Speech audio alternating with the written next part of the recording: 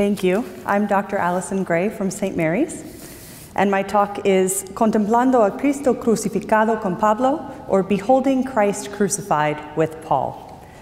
I'll speak mainly in English, but uh, some parts of it in Spanish. Each Friday in Lent, we meditate on the stations of the cross. We behold Christ crucified in artistic representations of the Passion and in our mind's eye. I'd like to spend some time tonight reflecting on some other ways we might see Christ crucified. Where is the crucified Lord already in our midst? How will we know him when we see him? How can we attune ourselves to new kinds of seeing as we make our journey toward the joy of Easter? Cada viernes de cuaresma meditamos en las estaciones de la cruz. Contemplamos a Cristo crucificado en representaciones artísticas de la pasión y en el ojo de nuestra mente. Me gustaría pasar un tiempo esta noche reflexionando sobre otras formas en que podemos ver a Cristo crucificado. ¿Dónde está el Señor crucificado entre nosotros? ¿Cómo lo reconoceremos cuando lo veamos? ¿Cómo podemos sintonizarnos con nuevos tipos de visión mientras hacemos nuestro viaje hacia la alegría de la Pascua? Un teólogo que reflexionó profundamente sobre estas cuestiones fue uno de los autores del Nuevo Testamento, Pablo. One theologian who thought deeply about these questions was the New Testament author Paul. He traveled throughout the cities of the Mediterranean world in the period between 30 and 64 CE, just after the earthly lifetime of Jesus. Paul stopped in households to preach the gospel and build up small communities. Often he would send letters back to the communities he had founded, offering encouragement, advice, and, when necessary, correction. Paul's letters also show us the nature of his relationship with the crucified Christ. So I have three moments of reflection about Paul. La propia historia de la vida de Pablo reveló el poder transformador de la crucifixión de Cristo. Paul's own life story revealed the transformative power of Christ's crucifixion. You're probably familiar with the account of Paul's call, sometimes called his conversion. Three times in the Acts of the Apostles, we read about Paul, a devout Jew who tried to stamp out this new movement, claiming that Jesus was the promised Jewish Messiah.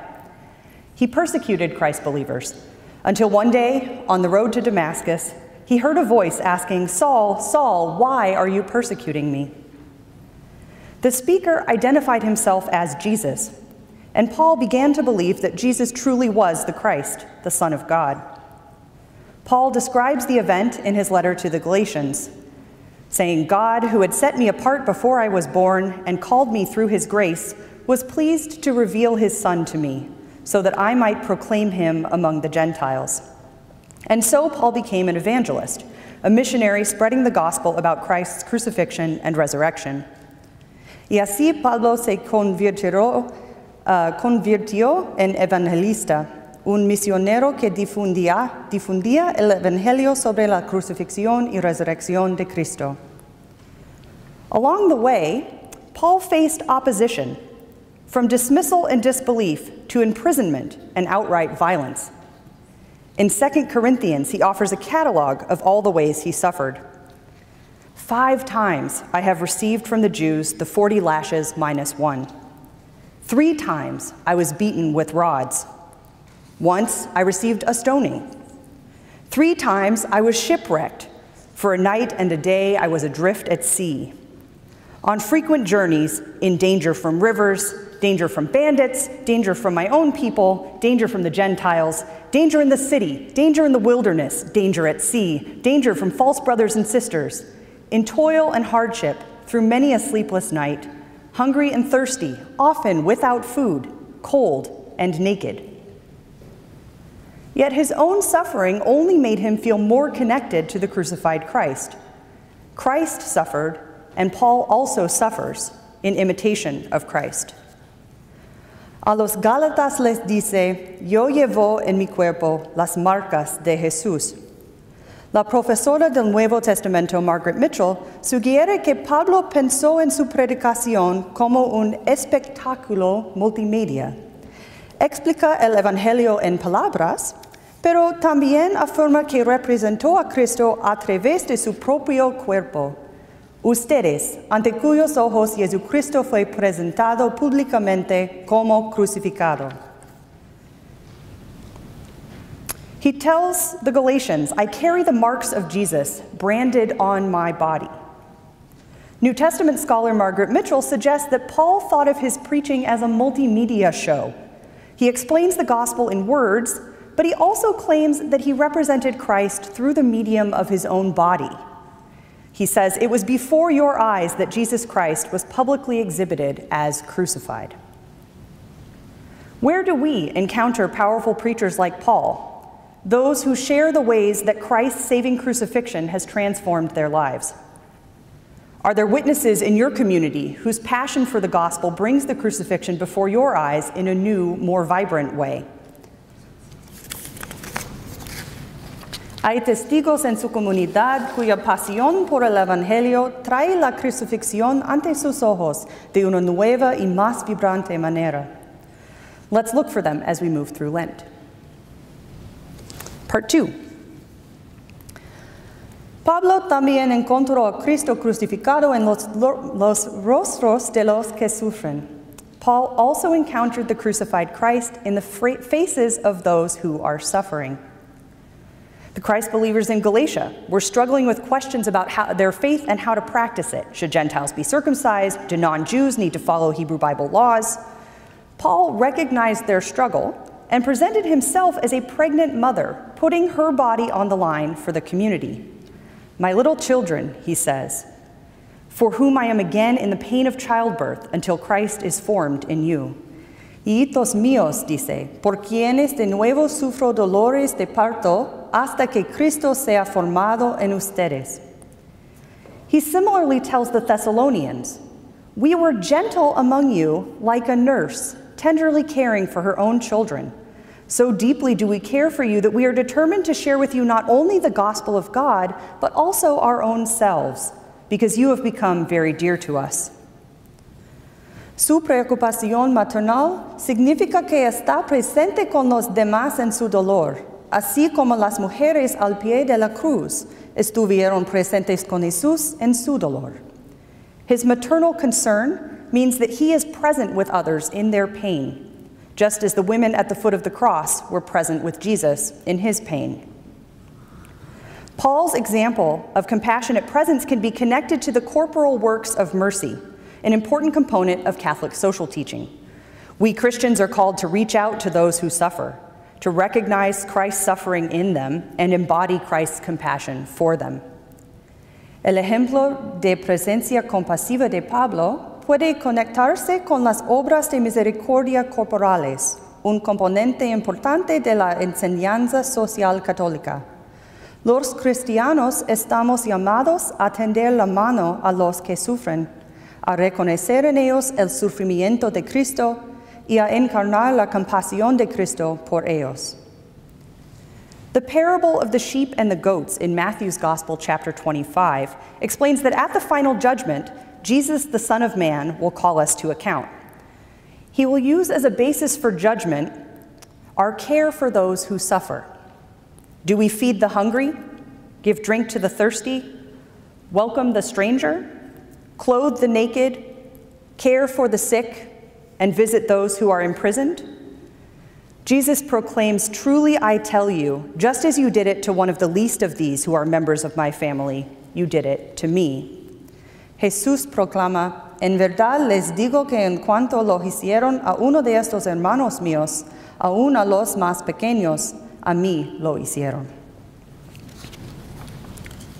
Paul and Jesus both invite us to see that the crucified Christ is present in every place where there is suffering. Where do you see the rostro de Cristo, the face of Christ, in our city, in our world? How can you be present with those who are suffering? Today, this week, how can you offer compassionate care? And part three. Finalmente, Pablo nos recuerda una importante enseñanza cristiana. El sufrimiento no es el final para ninguno de nosotros. Así como la crucifixión de Cristo condujo a la, a la resurrección, nuestro sufrimiento conducirá a la transformación. Finally, Paul reminds us of an important Christian teaching. Suffering is not the end for any of us. Just as Christ's crucifixion led to the resurrection, so our suffering will lead to transformation. In his second letter to the Corinthians, the same letter where he lists all his many hardships, Paul also writes, We are afflicted in every way, but not crushed, perplexed, but not driven to despair, persecuted, but not forsaken, struck down, but not destroyed, always carrying in the body the death of Jesus, so that the life of Jesus may also be made visible in our bodies. Llevamos siempre en el cuerpo por todas, parte, por todas partes la muerte de Jesús, para que también la vida de Jesús se manifieste en nuestro cuerpo. As we make our Lenten journey, a journey of sometimes painful and discouraging repentance and discipline, Paul's reminder of hope can help us transform our thinking. Even our own suffering can bring us to an intimate, powerful encounter with the crucified Christ within. St. Pope John Paul II laid out some suggestions in his 1984 apostolic letter, Salvifici Doloris, on the Christian meaning of human suffering. Sobre el significado cristiano del sufrimiento humano. He explains As a result of Christ's salvific work, man exists on earth with the hope of eternal life and holiness. And even though the victory over sin and death achieved by Christ in his cross and resurrection does not abolish temporal suffering from human life, nor free from suffering the whole historical dimension of human existence, it nevertheless throws a new light upon this dimension and upon every suffering, the light of salvation. This is the light of the gospel, that is, of the good news. Y aunque la victoria sobre el pecado y la muerte, realizada por Cristo en su cruz y resurrección, no abolió el sufrimiento temporal de la vida humana, ni liberó del sufrimiento toda la dimensión histórica de la existencia humana, sin embargo arroja una nueva luz sobre esta dimensión y sobre cada sufrimiento, la luz de la salvación. Esta es la luz del Evangelio es decir, de la buena noticia. All our suffering takes place in light of Christ, who brings an end to evil and death, who frees us for eternal life. Not only that, Christ is present with us in our suffering, from Salvifici Doloris 26, and Christ, through his own salvific suffering, is very much present in every human suffering and can act from within that suffering by the powers of his Spirit of truth, his consoling Spirit. One more. Pablo recordó a los filipenses que Jesús transformará el cuerpo de nuestro estado de humillación en conformidad al cuerpo de su gloria. Cuando vemos a Cristo crucificado en los demás o en nosotros mismos, ¿podemos aferrarnos también a la esperanza?